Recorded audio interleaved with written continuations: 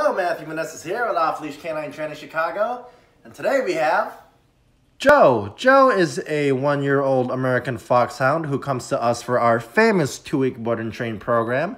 Uh, as you can see here, it's almost near impossible to take Joe on a walk. He loves to fight that on a walk, doesn't want to walk at all, um, tries to squirm away from the collar, tries to run away, just is really resistant to walk, super anxious. Being a scent dog, he wants to sniff everything, and when he can't sniff everything, he will exhibit a lot of anxiety. So we're just gonna be working on it being possible to walk him on and off the leash. Um, so that, along with just his basic manners, um, he doesn't know sit, he doesn't know down, he doesn't know place, and he doesn't know basic recall. So we're gonna make sure that no matter the amount of distractions around him, he's gonna be able to do all these commands.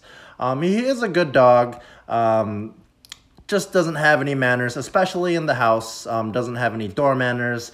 Every time the gate to the yard opens up, he loves to run away. So we're going to be working on that, shaping up his overall obedience and his focus no matter the amount of distractions around him. Now check back on the progress after the training.